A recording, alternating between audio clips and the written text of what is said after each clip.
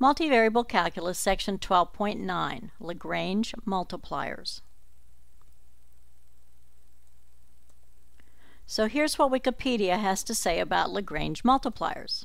In mathematical optimization, the method of Lagrange multipliers, named after Joseph Louis Lagrange, is a strategy for finding maxima and minima of a function subject to equality constraints. So, for example, the red surface has a maximum up there at the top of that red hill.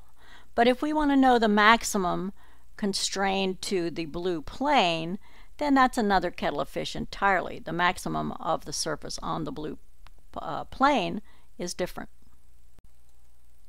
So there's a picture of Louis Lagrange. You may remember him from the infamous Lagrange remainder theorem that everyone knows and loves.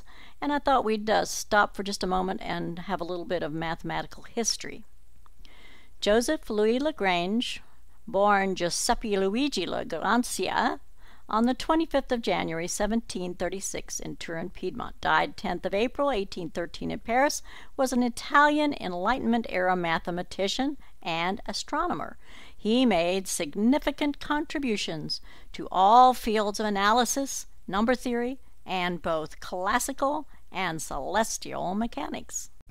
Now, analysis is an umbrella that includes calculus, so he was also an expert in calculus.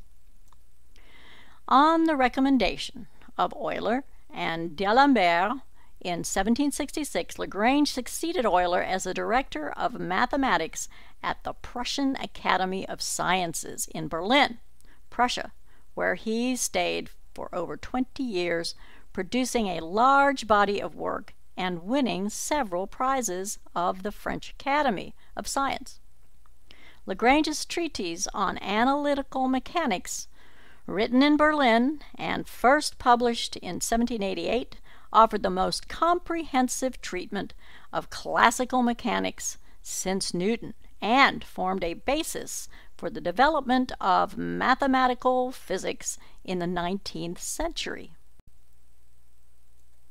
In 1787, at the age of 51, he moved from Berlin to Paris and became a member of the French Academy.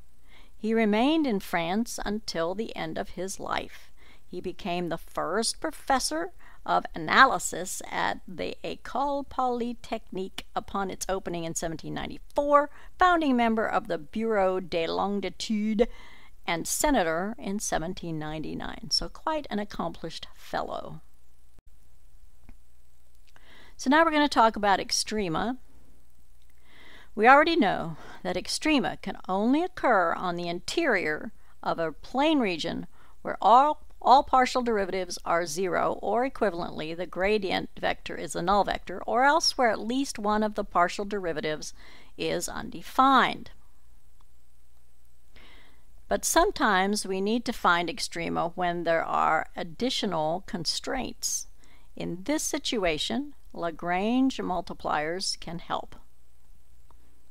So here's the big theorem for this section. Lagrange multipliers with one constraint let f of xy and g of xy be continuous differentiable functions, and if a minimum or maximum of uh, the function f subject to the constraints of g equals 0 occurs at p, and if the gradient at p is not the null vector, then, here's the biggie, the gradient of f at p is equal to lambda times the gradient of g at p for some constant lambda.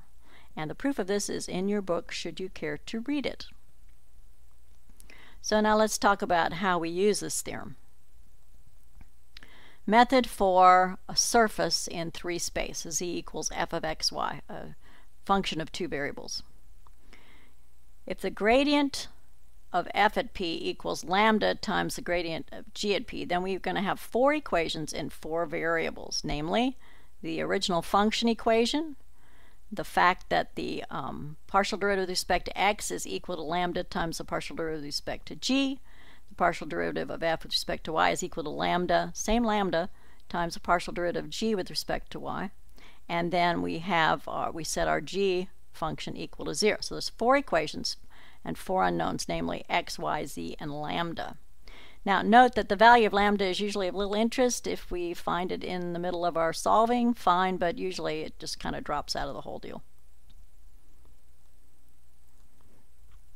Now the method for uh, in four space for w equal function of three variables x, y, and z is similar. If the gradient of f at p equals lambda times the gradient of g at p, then we have five equations in five variables, the original function, and then the three partial derivatives, and then, of course, our g function set equal to 0. And again, the value of lambda is uh, unimportant and usually of little interest, and sometimes we don't even bother solving for that. Now that goes on, of course, if we're in 5 space or 6 space. You can just keep on adding the number of equations and unknowns, and of course the algebra gets worse and worse. So the problems in your text have to be fairly um, simple, and out in the real world, if you've got lots and lots of variables, then we use computers these days to solve those systems. Now we have an extended theorem, Lagrange multipliers with n constraints. Let's say you have your function that you want to maximize and your constraints, you have n constraints, g, g functions, and they all have to be continuous and differentiable. And if a minimum or maximum of f, subject to the, the, the n constraints, um, all set equal to 0, occurs at point P, and none of the constraint uh, gradients are the null vector, then the gradient of f at P is equal to the sum of the uh, constraint gradients, each multiplied by a different lambda. But those constants have to exist according to Louis Lagrange. Now, as you can imagine, then, um, when you have lots of constraints and you're in three space or four space or whatever, the algebra of solving these systems can get ridiculously difficult, and that's where computers come in handy. In this text, we will only do uh, problems that are kind of set up to be easy to solve. So don't have nightmares. This, this little puppet had a nightmare that she had to solve 50 equations with 50 unknowns. But don't worry, that's not going to happen in the exercises.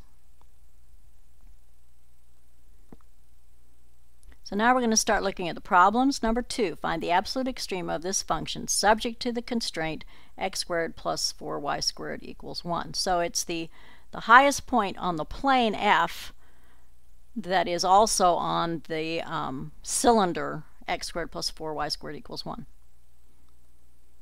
So notice that our g function then, we'd have to bring the 1 over technically, but that's when we take the derivatives, the 1 goes to 0 anyway.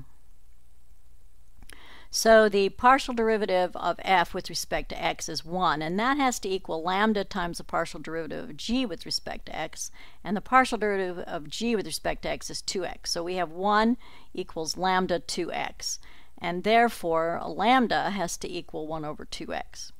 Now we look at the um, other partial derivative. With respect to y, it's also 1, and that has to equal lambda times the partial derivative of g with respect to y, which would be lambda times 8y.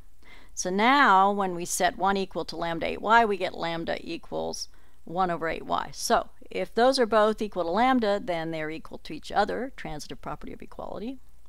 So we set them equal and we cross multiply, and we find out that x has to be 4 times y.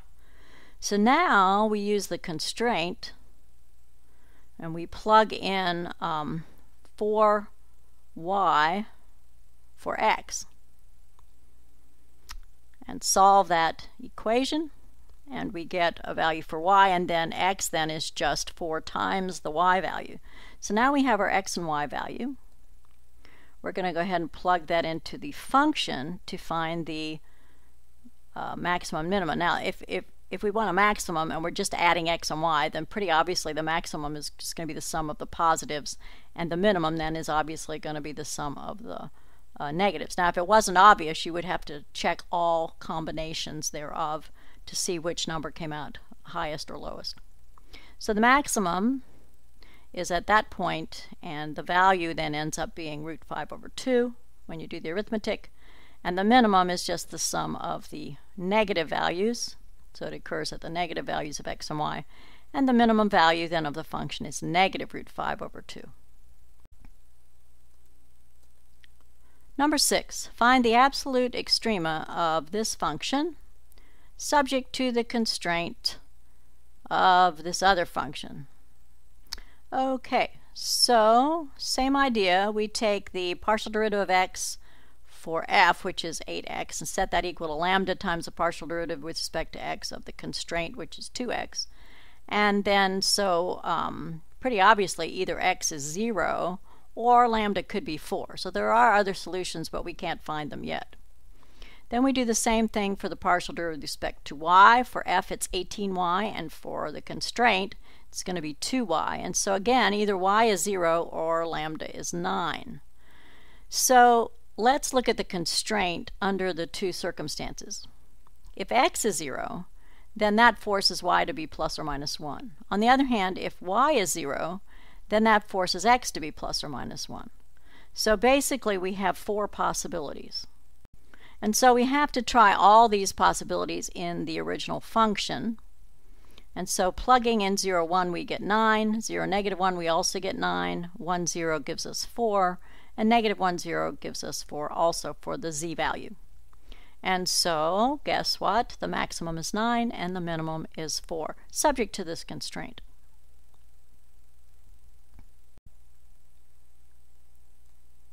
Number 8. Find the absolute extrema of the function of three variables subject to the constraint x squared plus y squared plus z squared equals 1.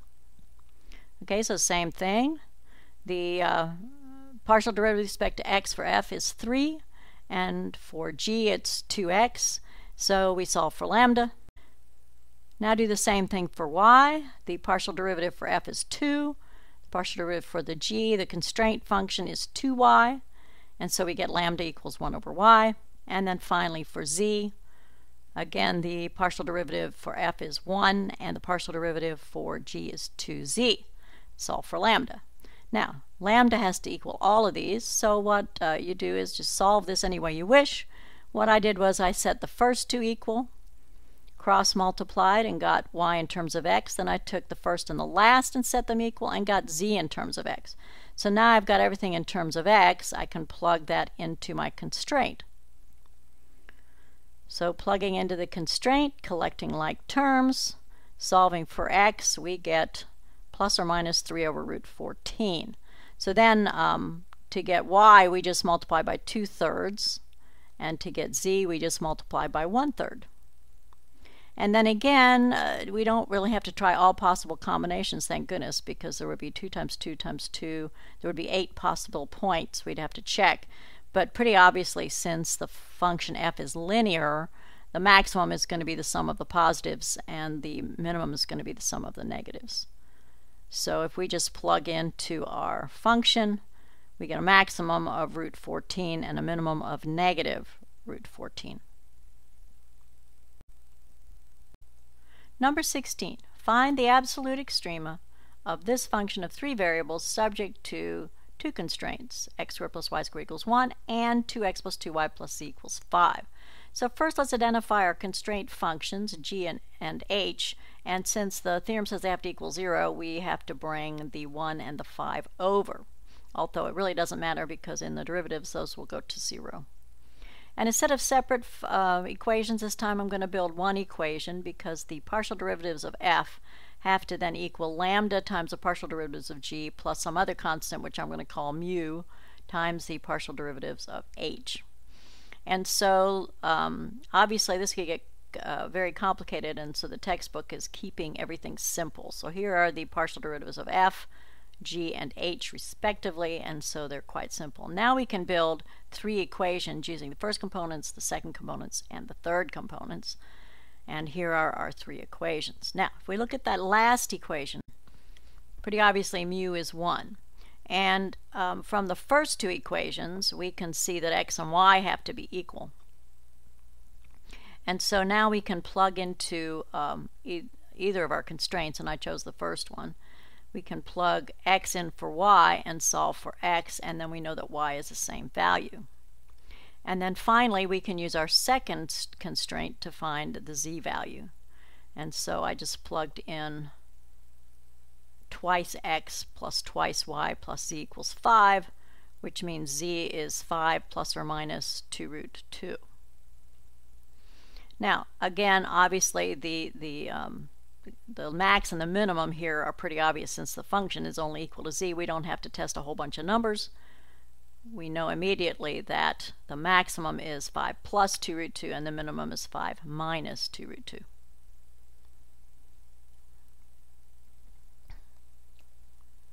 Number 24. Use the method of Lagrange multipliers to solve problem number 32 from section 12.5. Those were the minimax word problems. And so the problem number 32 was to find the point in the first octant on the surface described by x, y is equal 8, closest to the origin. So to use this method, we think of the x, y is equal 8 as the constraint, and then the function we want to um, minimize because it's closest. So we want to minimize the distance. And that's not very convenient. So instead we minimize the square of the distance, which would give us the same x, y, and z values. So uh, the partial derivative with respect to x has to equal lambda times uh, the partial derivative of the constraint with respect to x, and the same thing for the partial derivative with respect to y which is 2y has to equal lambda times the partial derivative with respect to y of the constraint, and so on. And for each of those three, we solve for lambda. And since lambda has to be the same throughout, we can set those first two equal, which I did, and then cross multiplied.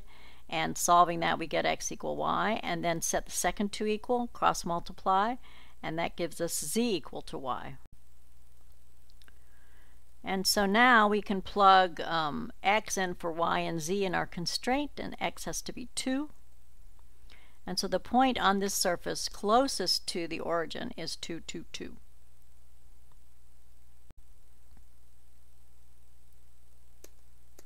Number 34. Use the method of Lagrange multipliers to solve problem number 42 in section 12.5, another wordy problem. And this one was a closed box with a volume of 12 cubic meters and the material of, of the bottom costs twice as much as the material for the top and the sides. Find the dimensions that minimize cost. So here's a picture of our box and our constraint is that the volume has to be 12 and what we're trying to minimize is the cost function. So we double the uh, double two times the uh, area of the bottom and then um, the top is xy just regular price and then we have two sides that are xz and two sides that are yz and so then if we uh, combine like terms we get 3xy plus 2xz plus 2yz.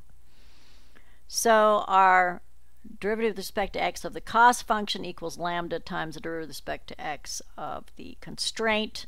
Same thing for the partial derivative of y, partial derivative with respect to z and solving for lambda this time our algebra is going to be a little bit more complicated but not too bad. So now we have three expressions for lambda and I'm out of space on this slide so we're going to repeat these on the next slide and then I'm going to set the first two equal and cross multiply and that cancels and so pretty obviously x has to equal y. This is same thing over and over again because the book has to keep it simple or you wouldn't be able to do the algebra. And then the second two lambda expressions set equal cross multiplied gives us 3y equals 2z. So z is equal to 3y over 2. So now we have everything in terms of y. So we take our constraint function and we replace x and z with their expressions in y and we can solve for y and y is 2. And then we can go back up here and since x is equal to y, x is 2 and then for z we multiply y by 3 halves. So there's our answer. The dimensions that minimize the cost are a base of 2 meters by 2 meters and a height of 3 meters. So now I leave you with another interesting set of surfaces and it's your turn to work the problems in 12.9.